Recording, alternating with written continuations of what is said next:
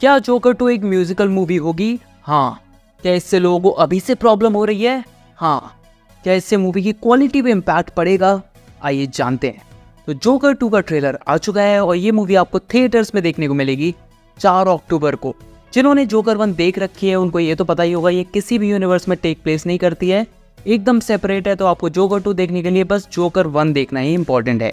और आपको ये भी पता होगा कि इस मूवी में हार्ली क्विन आने वाली है। जो जोकर की लव इंटरेस्ट है कॉमिक्स में और जिसको प्ले कर रही हैं लेडी गागा अब आपने अगर जोकर टू के टाइटल पे गौर किया है तो मूवी का टाइटल बहुत ही ज़्यादा मिस्टीरियस है। जोकर फोलिया डो अब इसका मतलब क्या होता है? मतलब कुछ ऐसा है कि अगर आप जान लोगे तो मूवी की पूरी स्टोरी इसी में हिडन है। मतलब पूरी स्टोरी यहीं पे छिपी हुई है। फोलियो डो एक फ्रेंच वर्ड है, जो एक ऐसी रेयर कंडीशन को बताता है, जिसमें दो लोग एक ही मेंटल इलनेस से सफ़र कर रहे हैं।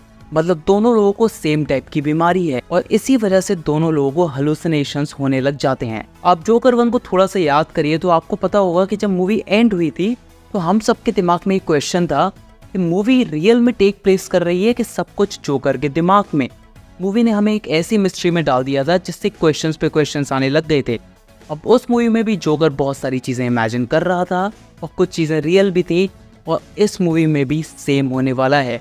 बस डिफरेंस ये होगा फोलियो दो के चक्कर में कि इसमें जोकर भी इमेजिन करेगा हार्ली भी इमेजिन करेगी, पर कितना इमेजिनेशन है, कितना सच है, ये मूवी देख के ही पता चलेगा। तो मेरे हिसाब से आप लोग कुछ डॉट्स अब कनेक्ट कर पा रहे होगे।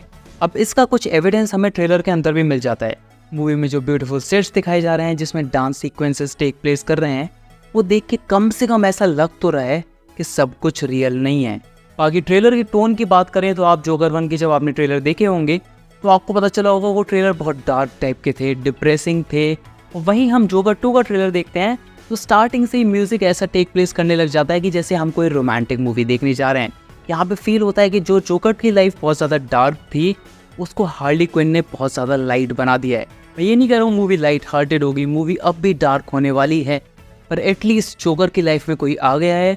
तो उसकी लाइफ से जो लोनलीनेस है, जो खालीपन है, वो जा चुका है। बाकी अब बातें करें कि मूवी म्यूजिकल कितनी होगी तो मूवी में अच्छे खासे गाने हैं। मूवी के डायरेक्टर ने कंफर्म कर दिया है और डायरेक्टर सेम है टॉड फिलिप्स जिन्होंने जोकर वन डायरेक्ट की थी। अब गाने कितना ज़्यादा मूवी को इम्पैक्ट कर सकते हैं, ये भी मूवी के बाद ही हम क्वालिटी को जज कर पाएँगे, पर आपको थोड़ी सी गारंटी यहाँ पे मिल सकती है। सिंस डायरेक्टर सेम है तो हो सकता है कि मूवी अपनी क्वालिटी मेंटेन कर ही रहे और एक म्यूजिकल होने के बाद भी अच्छी निकल आए। क्योंकि ऐसा कोई हार्ड एंड फास्ट रूल तो है नहीं ना कि म्यूजिकल मूवी अच्छी नहीं हो सकती है। तो यही था आज के वीडियो में। आप बताइए आपको जोकर टू का ट्रेलर कैसा लगा?